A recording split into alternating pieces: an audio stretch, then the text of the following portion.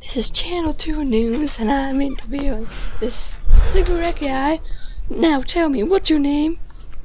Uh, I was the former Marlboro man. Uh, I don't remember my name. I, I lost my memory because of the cancer. Uh, what's your cancer nice? It was cancer. So is that yes? No. You sure? Yeah. Cigarette? yeah. Yes, please. So how long have you been smoking? I was the former Marlboro man. I've been smoking since 16. Ah, and how old are you exactly? 20. And that's a lie. What's your actual age? Do you know? No, I'm 25.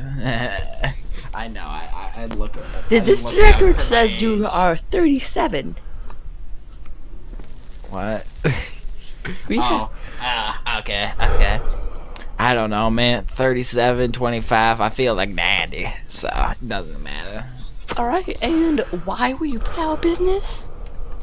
I mean, I was Marlboro's still running, uh, but I, I was no longer the Marlboro man because I started to shrivel up, and also my voice, it's like this, and I needed a hole in my neck to breathe because of the cancer. Ah, what happens if I jiggle it? don't, don't. Alright, you heard it here first. This, whatever his name is, he doesn't know, is proud to be a cigarette owner. I'm not. You ruined my life.